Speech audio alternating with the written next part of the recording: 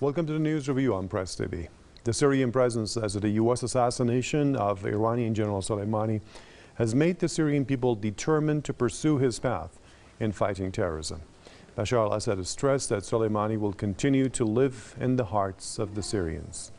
He highlighted the Iranian commander's efforts in defending Syria against terrorists and enemies, and this in a televised message on the occasion of Soleimani's martyrdom anniversary.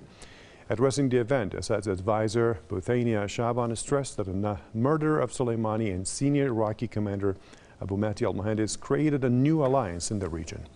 She said the two commanders exposed Zionist plots.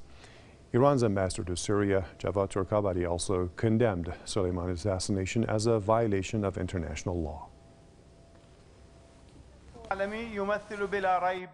The criminal act of assassinating General Soleimani was a violation of international law and was condemned by the international community.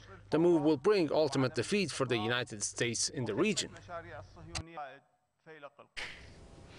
Now, the Iranian envoy says that General Soleimani will be remembered in history as a fighter for justice. He stressed that the fight against terrorism will continue until total victory for Syrian people against aggressors. General Soleimani and Muhandis were assassinated last January near Baghdad airport in a U.S. drone strike ordered by President Donald Trump.